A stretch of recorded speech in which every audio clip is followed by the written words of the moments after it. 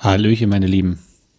Willkommen zu der zweiten angespielt Folge zu Forbearers.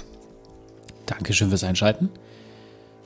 Da erinnert ihr euch ja dran. So sah es ja das letzte Mal aus. Und wir haben ja ein paar... Alter, ist die Mucke laut. Das hat der umgestellt. Ton. Ja. Und zwar ist es ja so, dass... Äh, wir ein paar Leute verloren haben. Aber jetzt geht es einem wieder gut. Und ähm, das Bekommen von Leuten ist eher ein, ein Herumlaufen. Frei, also aufdecken. So diese Truhen hier unten. Jetzt haben wir hier zum Beispiel da.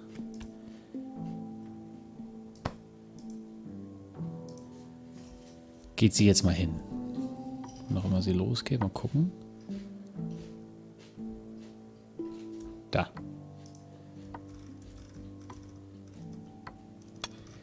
So, ja, und ich wollte halt auch mal neben den ganzen Let's Plays halt nochmal ein anderes Spiel mal ein bisschen anzeigen, an, anspielen, ein paar Folgen zumindest. Ein bisschen Abwechslung jetzt auch für mich gerade mal. Ist ja nicht so, dass ich jetzt äh, viel Zeit gerade habe, deswegen mache ich das mal. Also bitte nicht wundern. Oh, hier ist ein Tier. Jede Stadt oder Außenstelle verfügt über einige gemeinsame Speicher. Der Speicherbetrag kann durch den Bau von Speicherbahns erweitert werden. Das ist schon mal interessant zu wissen.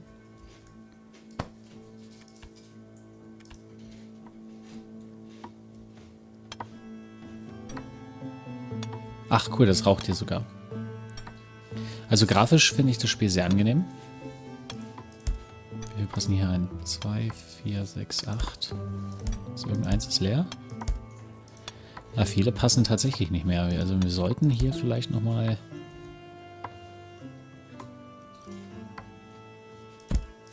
ein Zelt machen.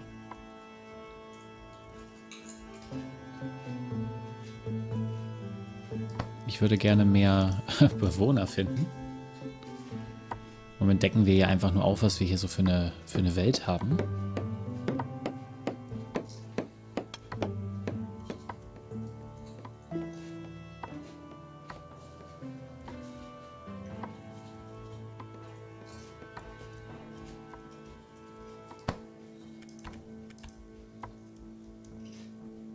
Das würde ich gerne wie ein, wie ein RTS steuern können.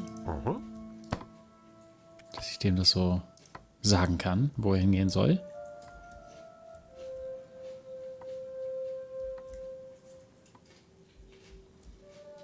Oh.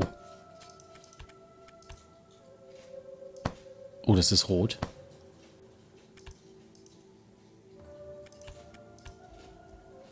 Erstmal zurückgehen, bitte. Das ist rot. Das ist eine feindliche Siedlung oder was? Das müssen wir auf jeden Fall gleich mal erforschen. Auf jeden Fall. Ähm,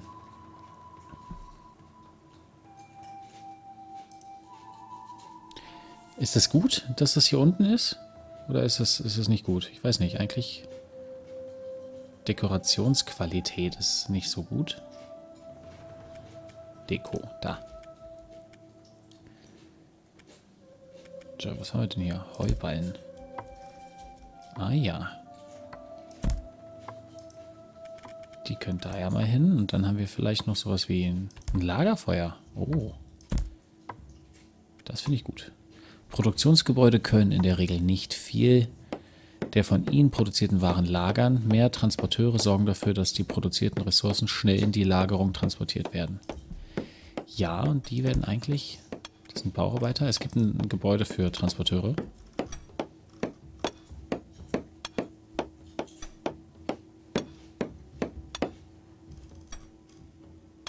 Ah, jetzt sieht man hier, Deko wird ein bisschen besser. Gucken, was passiert, wenn jetzt das Lagerfeuer entsteht, dass der Dekorationswert hochgeht. Ich würde mich ja auch sehr freuen, wenn wir, wenn wir ja, so neue Bürger nicht nur finden müssen.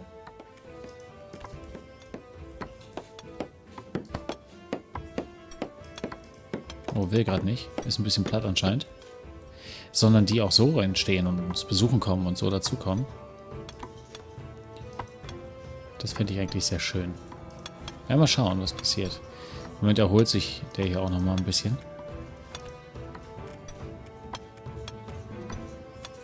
Heilerhütte wäre auch nicht schlecht. Handelsposten, kleiner Schrein.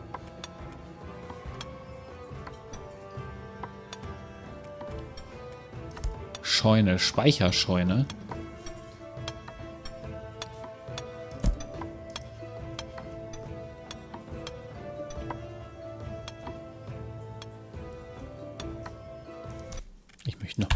Musik leiser machen. So.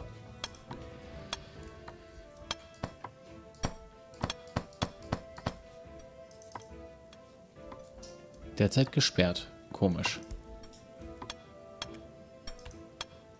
Oh.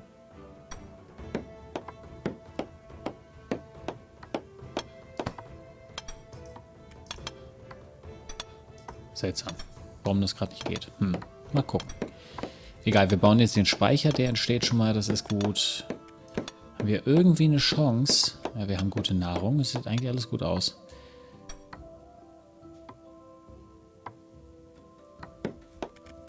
Ich würde gern mehr. Bietet Baufläche. Mehr Baufläche. Vielleicht brauchen wir echt noch mehr Deko. Ne, einen Topfbaum können wir nicht bauen, weil wir noch kein Lehm haben, so wie es aussieht. Aber einen Schubkarren könnten wir setzen.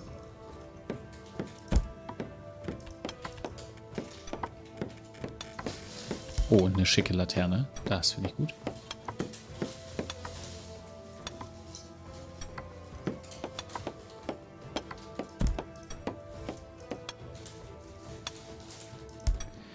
Und die ist jetzt gleich fertig.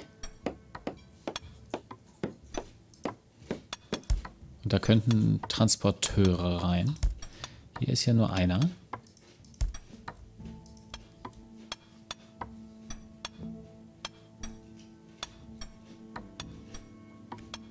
Aber trotzdem, dass der Zuwachs an... Wieso geht das jetzt gerade nicht? Wieso bist du geblockt?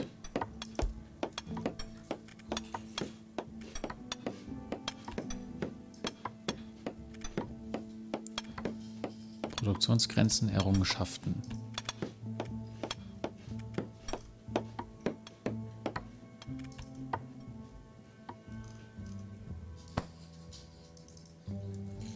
Hm.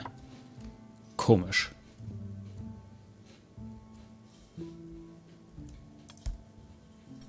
Oh, hier ist Lehm drüben. Mit einer Brücke können wir darüber. Wir müssen ja eh eine Brücke machen.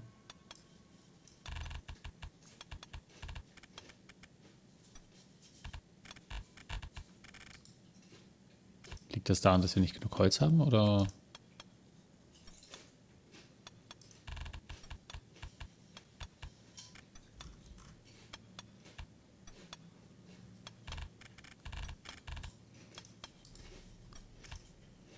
Ach so, ich denke, ich weiß, woran das liegt.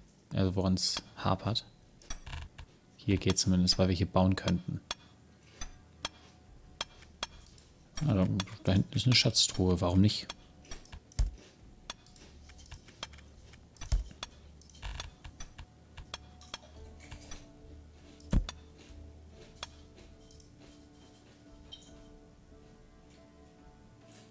Das Dorf, mal gucken, was hier alles so steht. Sicherheit ist im Grün. Das Dorfglück wird durch die Erfüllung allgemeiner Bedürfnisse, spiritueller Anforderungen und Bier erhöht. Wer denkt, das ja, Bier halt, ne? Wird reduziert durch und okay.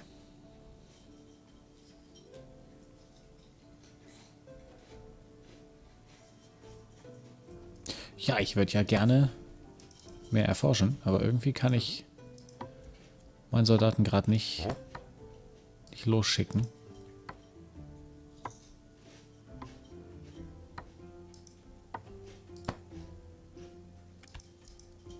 Und ich weiß nicht warum.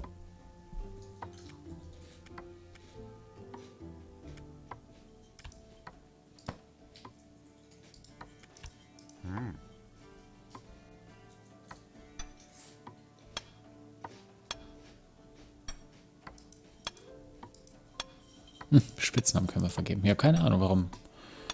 der gerade nicht äh, erforschen will.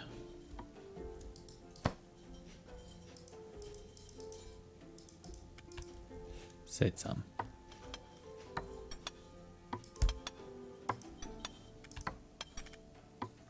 Wir haben einen Jäger, eine Windmühle, Koch, Weide, Fischerhütte, Bauernhof. Haben wir irgendwas, was uns Feind entdeckt?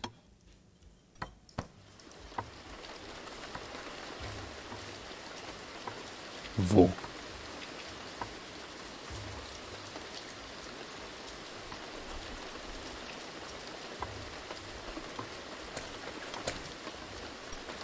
Ach herrje.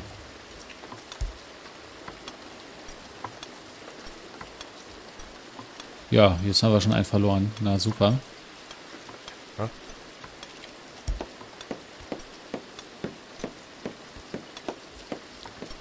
Ach, wie ärgerlich. Okay, jetzt, oh, jetzt haben wir noch einen Menschen weniger. Wie machen wir denn das?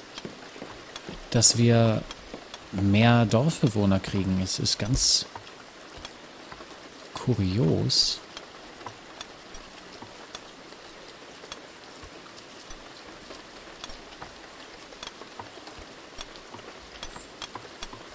Kurz ein bisschen schneller laufen lassen.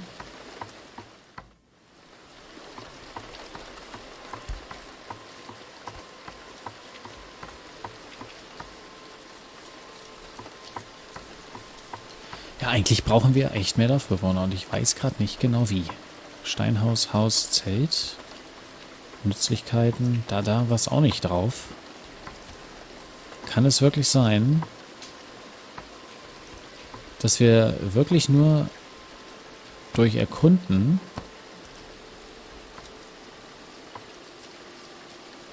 Aber wir haben ja sehr viel Steine, ne?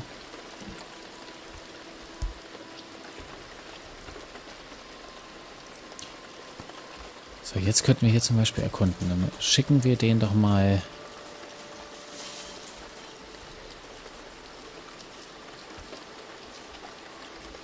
Hier ist auch rot, also da schicke ich ihn nicht hin. Schicken wir ihn doch mal hier unten hin.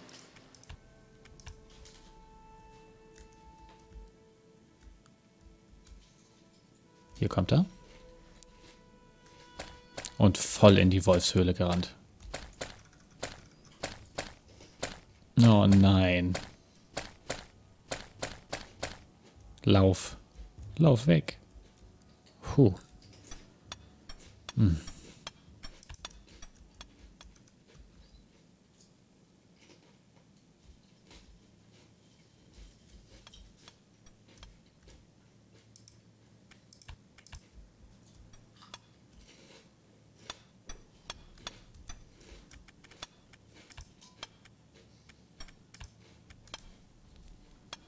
Eigentlich bräuchten wir so einen Heiler. Verwendet Kräuter.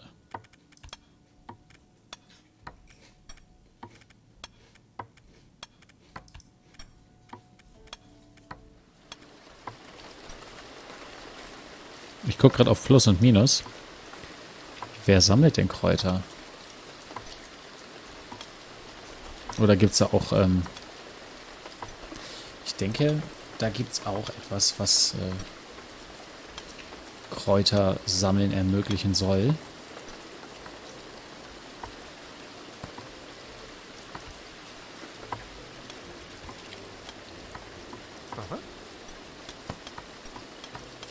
Jetzt ist schon wieder ein Schloss drauf und ich weiß nicht warum.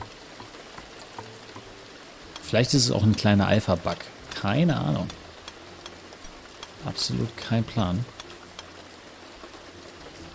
Aber ich würde ja unglaublich gerne mehr Dorfbewohner kriegen.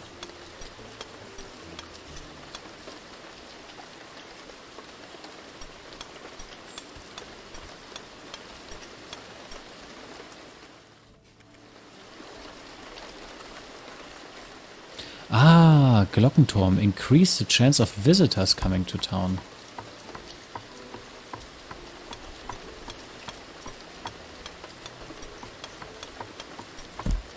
Ganz wichtig. Ah, das könnte unsere Frage beantworten. Das wäre auf jeden Fall schön. Wenn dadurch Leute kommen. Also wir haben den gebaut.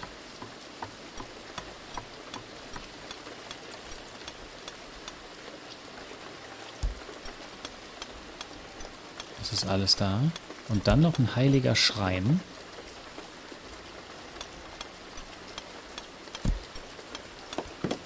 Für religiöses. So, jetzt kommt der Glockenturm. Oh, sehr gut. Dadurch können wir eventuell, ich lasse mal so schnell kurz laufen, dadurch können wir eventuell neue Dorfbewohner finden. Oder bekommen. Oh, und der Außenposten für Holz ist, ist verschwunden.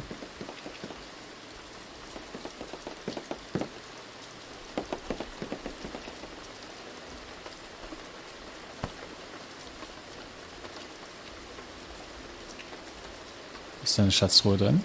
Im Stein. Mal kurz gucken, haben wir noch irgendwelche Ressourcen Außenposten? Also Holz hätten wir hier.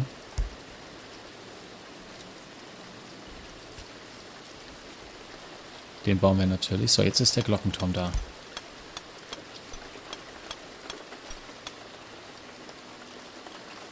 Wieso sind wir nur noch zu acht?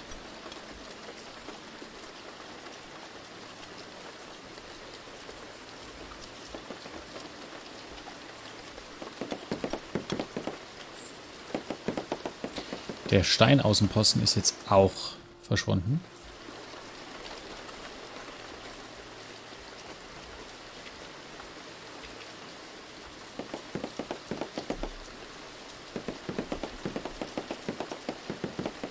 So, und der Schrein ist auch fertig. Klasse. Dadurch erfüllt sich jetzt wieder diese Glückseligkeit. Nützliches. Was können wir noch machen? Wir könnten Handelsposten später bauen. Stallung.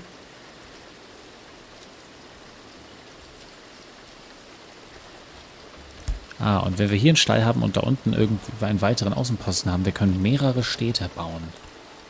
Das ist ja auch interessant, okay. Ja, man muss dieses Spiel, glaube ich, erstmal verstehen. Ist gar nicht mal so schlecht.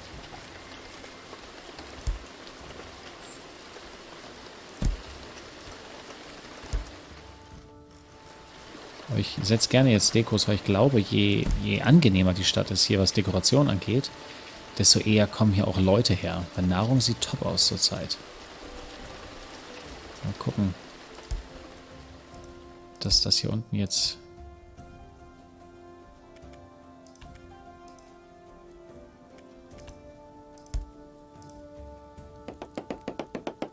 dass hier unten Holz gesammelt wird.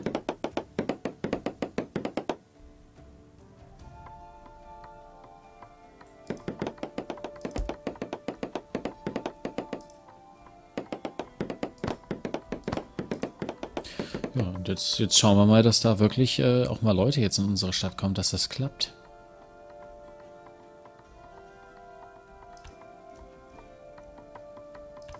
Unten könnten wir auch anbauen. Korn könnten wir hier anbauen. Das hier.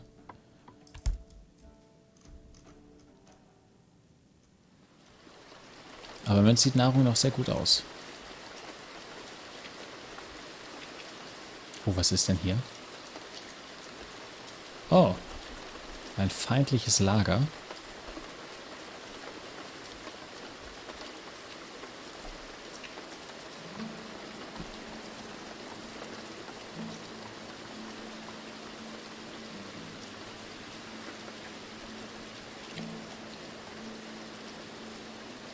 Ja gut, hier steht jetzt Bestattungsmöglichkeiten.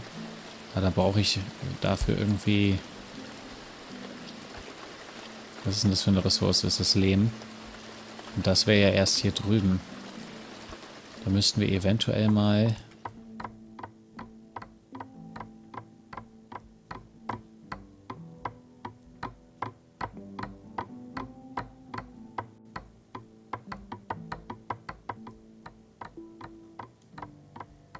Wir müssten hier drüber eine Brücke bauen und das geht nur mit einem Außenposten, der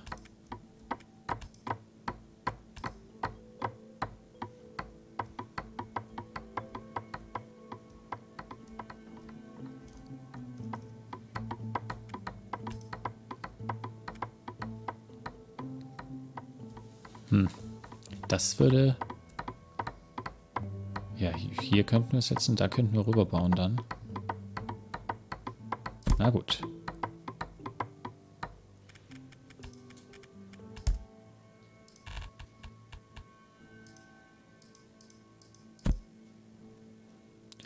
Dann bauen wir jetzt hier eine Brücke, dann könnten wir hier hinten nämlich Lehm abbauen. Und dann könnten wir ein Grab bauen. Und ich hoffe, dass wir halt kann ich noch mehr von diesen Glockentürmen bauen? Ja.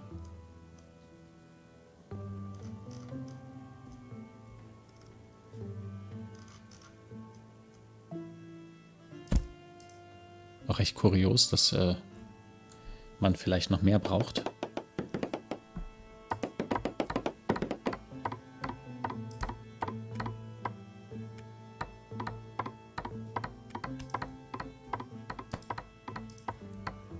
Seems like a safe place to settle down. Akzeptieren. Wow, drei Leute dazu. Jetzt haben wir es auch verstanden. Also durch diese Glockentürme kriegen wir Leute hinzu. Sehr gut. Und dann auch Bauarbeiter automatisch. Klasse. Dann können wir ja hier auf, äh, sagen wir mal, einen... Oh, was ist das denn? Bogenschützen. Und dann machen wir es mal so. Du gehst dahin.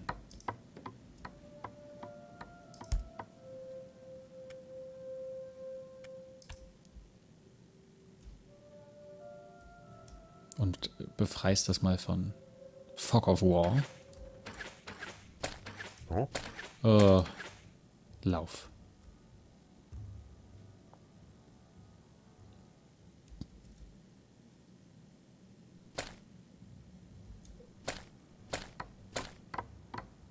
Das klappt doch auch nicht.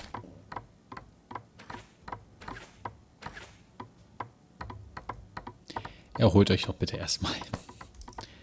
Dann lösche ich hier diesen Befehl wieder. Zack. Sind die beide geblockt? Liegt's, lag's an diesem Befehl? Ich glaube, das ist ein bisschen buggy. Ich glaube, das ist ein bisschen buggy. Mal gucken.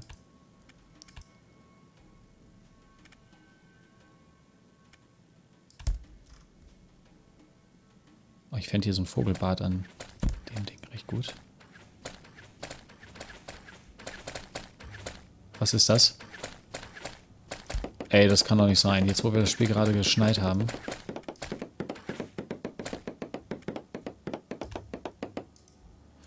Sind wir wieder auf 9 runtergefallen.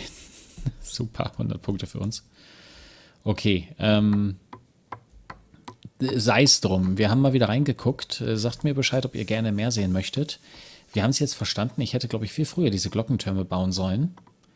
Und äh, mal gucken, wann wieder uns Leute fragen, wann sie hier siedeln wollen. Vielleicht sehen wir uns ja bei dem Spiel irgendwie dann die nächsten Wochen auch wieder. Okay, macht's gut und tschüss.